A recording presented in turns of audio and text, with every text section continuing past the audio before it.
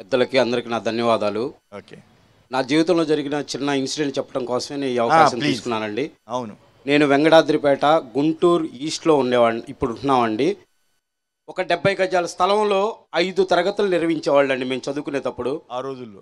పక్క తరగతిలో ఏం చదువుతుంది ఏం చెప్తున్నారనేది మాకు వినపడేది మా తరగతిలో ఏం చెప్తున్నారని వాళ్ళకి వినపడేది. టీచర్లు ఒక్కొక్క టీచర్కి ఐదుగురు స్టూడెంట్లు ఆరుగురు స్టూడెంట్లు మాత్రమే ఉండేవాళ్ళం. చదువుకోవడానికి ఎలాంటి ఫెసిలిటీ లేదు నో బాత్రూమ్స్ అంటే ఏం లేవు.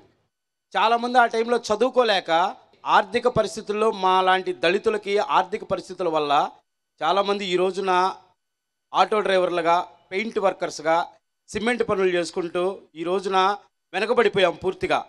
కేవలం జగన్మోహన్ రెడ్డి గారు వచ్చిన తర్వాతే అమ్మ ఒడి అనే పథకం తీసుకొచ్చిన తర్వాతే మా పిల్లల్ని మేము చదివించుకోవడానికి ముందుకొచ్చాము.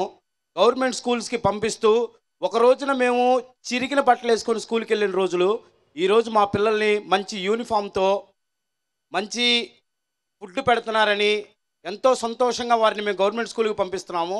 ఈ రోజున ప్రతి ఒక్క స్టూడెంటు మంచిగా చదువుకుంటున్నాడు. రేపటి రోజు భవిష్యత్తు కోసం జగన్మోహన్ రెడ్డి గారు ఆ డబ్బు మొత్తం వారికి ఖర్చు పెడుతున్నారు. అదే డబ్బు ఓటర్స్కి ఇస్తే ఆయన ఇంకో పదిసార్లు గెలవచ్చు.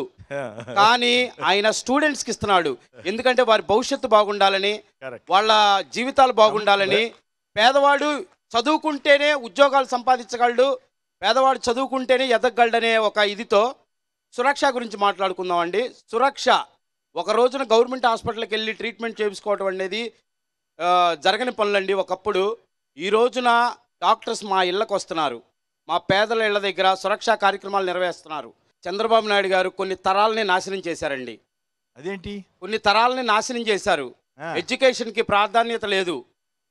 అవును ఆరోగ్యానికి ప్రాధాన్యత లేదు. ఈ రోజున జగన్మోహన్ రెడ్డి గారు వచ్చిన తర్వాతే కులమతాలకు అతీతంగా ఆయన ఎడ్యుకేషన్ ఇస్తున్నారు. కులమతాలకు అతీతంగా ఆయన ఆరోగ్యాన్ని ఇస్తున్నారు. రైట్